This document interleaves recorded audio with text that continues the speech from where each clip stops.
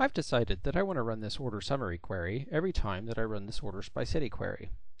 I've also decided that I want to use the same start date and end date in both queries so that I know I'm always looking at the same date range when I look at the queries together.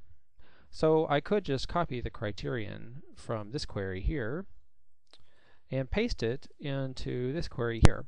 But if I do that, then both queries are going to prompt me for values, and it's possible that I might accidentally specify two different date ranges and get two different sets of data. That's not what I want.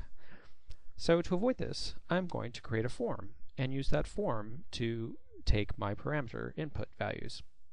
Then I'm going to point the queries to that form for the input. That way, I only put value, input values once into the form, and I know that the queries will have the same date range.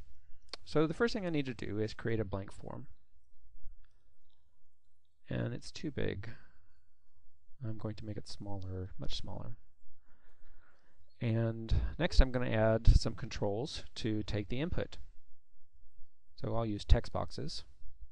And I'm going to change some of the prop properties on these text boxes to make this easier to use. So the first thing I'm going to do is I'm going to set the format to general date. So this means that this control will expect a date value, and it also will offer a little calendar picker.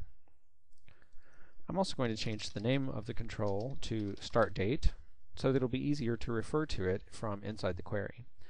And then I'm going to change the label, so that it will be apparent what sort of input I'm looking for. Then I'm going to create one for end date, and do the same things.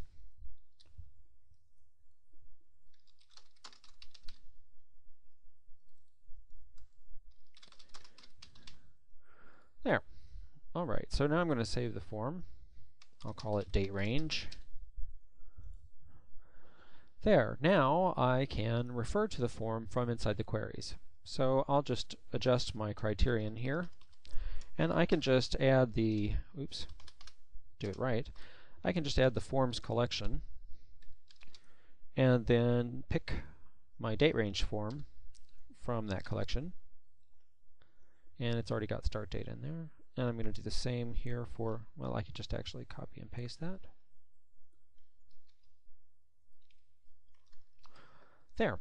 Okay, so I've got my criteria row fixed for this one. Let's copy that and paste it into the criteria row for this query.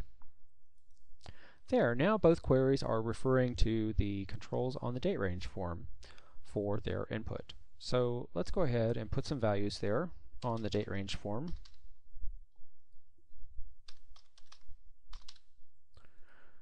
Okay, so now when we run the queries, we should see the date range, the same date range for both.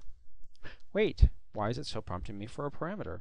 Oh, that's right, I already set this query up with parameters, and I also specified the data type. Even though the parameters aren't in the criteria row anymore, they're still here in the query saved in the query parameters dialog box. And I need to clear those out so that the query won't be expecting parameters anymore.